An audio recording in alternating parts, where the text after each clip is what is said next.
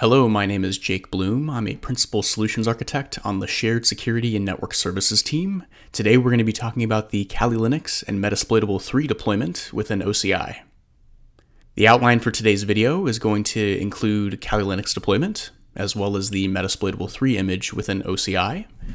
Overall, there's going to be four pieces to this deployment. There's going to be creating a VCN with the VCN wizard, after the VCN is created, we are going to deploy the Kali Linux image into the public subnet and enable RDP. Afterwards, we will deploy the Metasploitable 3 via the custom image import process within the private subnet. And finally, we will run through an example attack scenario with Kali Linux and Metasploitable 3. Let's go ahead and get started. We will start by creating a compartment to put all of our resources into. Let's go ahead and click on Create Compartment. After we've typed in the name for the compartment, we will add a description and then create the compartment.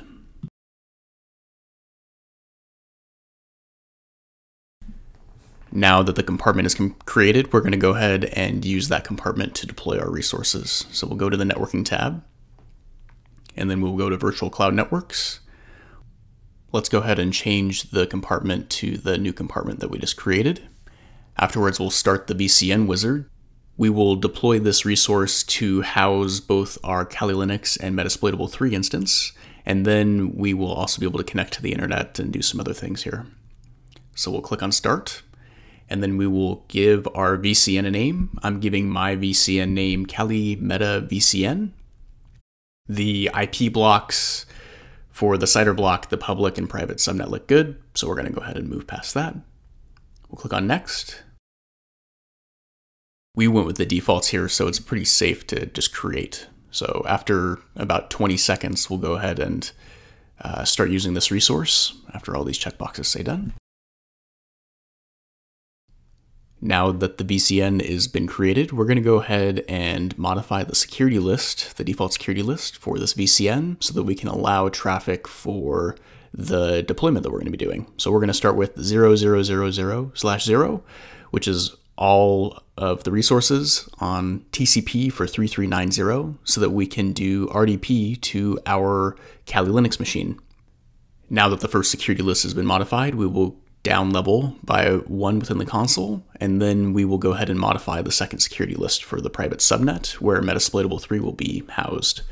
So we will go ahead and add an ingress rule for 000, and this time we will actually use any of the services uh, under the IP protocol.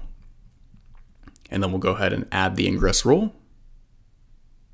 Now that the networking prerequisites have been made for the instances, let's go ahead and build our first instance, which is the Kali Linux instance.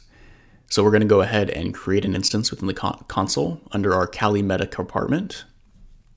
Go ahead and name this Kali Linux.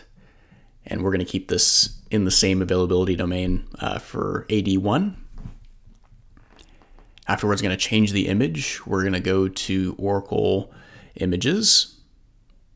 And then we will go and pull up the Kali Linux image and select the image.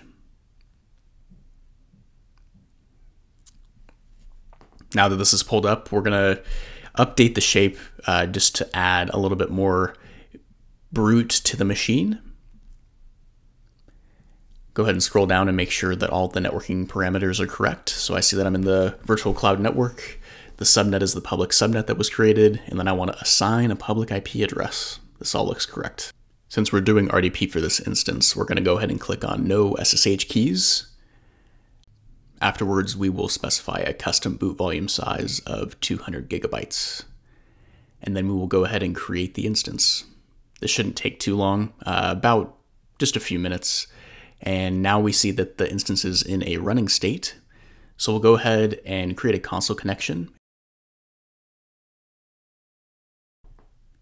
And the username and password here is Debian Debian. Now we'll go ahead and reset the password with PASSWD Debian. Go ahead and input the current password and new password. Retype the password, and now the password has been updated. Next, we'll go ahead and run the script to build out the RDP instance uh, that's available here or in the blog post. We'll go ahead and paste this script and then we'll let it run. You may have to uh, press enter a few times, but uh, overall it will end up completing. This is what it's going to look like at the end of the script. So I can see that configuring XRDP to listen on port 3390. Let's go ahead and make sure that the XRDP instance is actually running. So we'll do systemctl status XRDP and it's inactive. Go ahead and reboot the machine. Let's I always like to do this just to make sure that the changes are persistent. It only takes a minute to reboot, so let's go ahead and do that. While we're waiting for the image to reboot, let's go ahead and download our Metasploitable 3 pre-built image from this website. Go ahead and copy that link and then go to the URL. Once we're here, we'll go ahead and download the Ubuntu 14.04 image. I'm going to click on the VirtualBox image and click download. Once the download is complete, we'll go ahead and untar the file. Since I'm using Mac OS, I'm going to go ahead and go into my terminal. I'm going to go to my downloads folder, and then I'm going to go find the download that I just had. It starts with 383, so I just did a ls for 383, and now I'm going to uh, tar xvf this file, and it's going to uh, decompress the, the file. And I'm looking for this VMDK, this last image right here, and I'm going to use this VMDK as a custom image for OCI. So let's go ahead and go into back into the OCI console and we're going to upload our image. And we will do that by going to the storage and then file storage and archive storage. We'll be using an object store here. So we'll create a bucket uh, in our Kali Meta compartment. Bucket's going to be named Metasploitable 3. Now that the bucket has been created, we're going to go ahead and click on the bucket and then upload our VMDK. So I'm going to select my file in my download folder, which is the VMDK that we're interested in uploading. I'm going to click on upload. As soon as it's done uploading, it's going to say finished. We'll go ahead and close this menu. Now what we'll do is we will create a custom image with the VMDK that we just built. So we'll go to import image. I'm going to go ahead and give this image a readable name. And then I'm going to go to the bucket and click on the VMDK object within the bucket. I'm going to go on emulated mode here as well.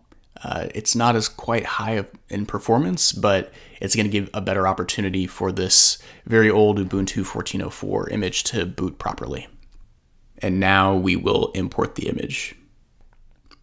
It took about 10 minutes for this process to complete. It doesn't take very long, but at the end you will see succeeded. Now we're going to go to uh, compute instances, and we're actually going to build out our Metasploitable 3 instance. So let's go ahead and do that. So we're going to name it Metasploitable 3. We can go ahead and go in the same availability domain. We're going to go to custom images. The new Metasploitable 3 image is now available, so we'll select that. The shape is fine here, one core and 8 gigs of memory, so we'll move past that. We're in the correct VCN, I need to change to a private subnet to make sure that this is not publicly accessible.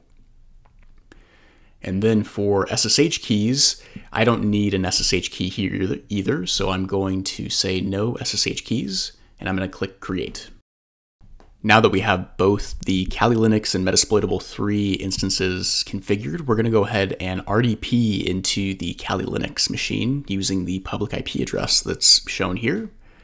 I'm going to go ahead and use my RDP client on my Mac OS using the public IP address plus uh, a colon 3390 to indicate the proper port. Then we'll click on connect, and then I will be RDP'd into the Kali Linux machine.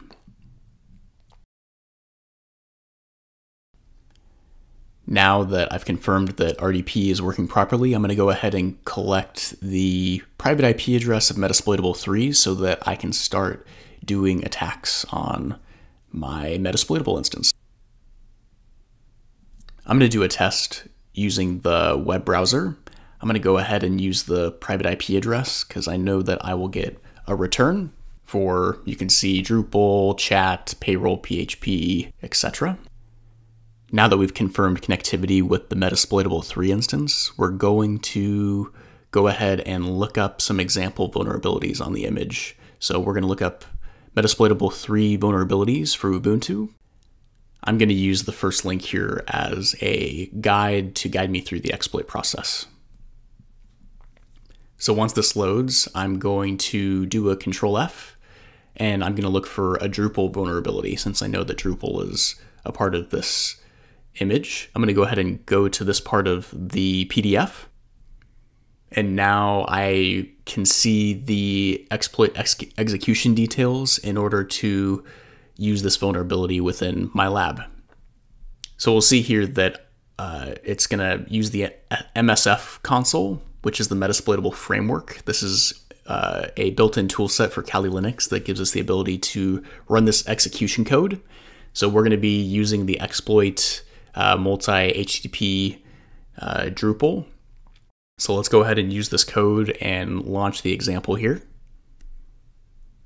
So I'm going to launch Metasploitable Framework Console within Kali Linux. This will take just a second to start, and then we will be able to execute on our exploit. Now that the Metasploitable Framework Console has been instantiated, we're going to go ahead and use the exploit that is indicated within this uh, here. I'm just going to do a quick copy paste. Now I'm going to show options to see what options need to be configured for the exploit. So I see rhosts, which is my Metasploitable 3 instance. I need the IP address of this, so I'm going to go ahead and set my rhost to this IP. Uh, have the target URI, which needs to be changed. The local host might look right. Okay, it does look good. I, I ran IPA and it looks good. Let's go ahead and set the rhost value to my Metasploitable 3 instance.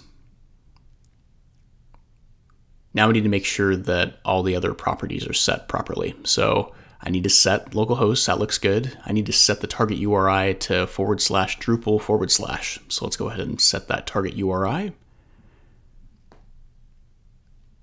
Now I need to set the payload to PHP reverse shell, uh, reverse PHP.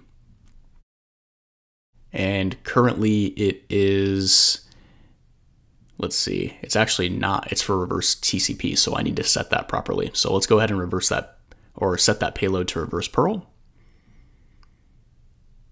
Press enter.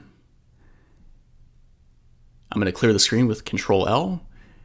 I'm going to show options one more time just to make sure everything looks good. And now let's go ahead and run the exploit. So I'm going to run exploit, and I should see something soon. So I waited a minute or two, and the reverse shell never ended up kicking off. So uh, I forgot something in the existing configuration, so I'm going to go ahead and add that. I needed to add an any any rule uh, to my security list so that I could actually do the reverse shell on port 4444. My security list was blocking it. So now that that's available, uh, I can see that I have a command shell that's opened that's great. That means that I have a reverse shell and I can actually start running some commands. So if I run directory, I'm looking at the remote instance here. I can run IPA and I can see the remote IP address. Uh, I can do all kinds of stuff. I'm in that machine. So I've confirmed that I've been able to execute commands on a remote host only using the vulnerability. This concludes today's video. I hope you enjoyed watching how to start vulnerability testing with Kali Linux and Metasploitable 3. We will use this deployment as a foundation in the future to learn how to defend against these attacks. See you in the next video.